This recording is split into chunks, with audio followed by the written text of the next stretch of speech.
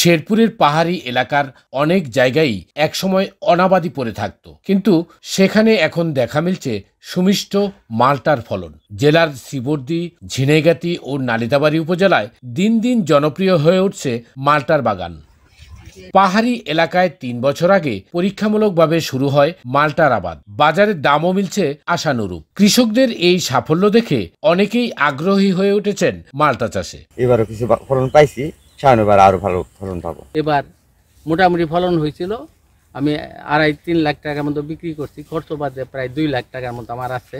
এক বছরের আমার আর পিছনের দিকে তাকাইতে হবে না। মাল্টা চাষে উৎসাহিত করতে কৃষকদের সার্বিক সহায়তা দেওয়া হচ্ছে বলে জানালেন জেলা কৃষি সম্প্রসারণ অধিদপ্তরের এই কর্মকর্তা। আমাদের বিভিন্ন প্রকল্প আছে বিভিন্ন প্রশিক্ষণ কার্যক্রম আছে যার মাধ্যমে আমরা কৃষকদেরকে উৎসাহিত করছি প্রশিক্ষিত করছি এবং প্রদর্শনী দেওয়ার মাধ্যমে আমরা এই মালটা আমরা সারা দেশে ছড়িয়ে দিচ্ছি। কৃষি বিভাগের তথ্য মতে শেরপুর জেলায় পঁচিশ হেক্টর জমিতে মালটার বাগান রয়েছে।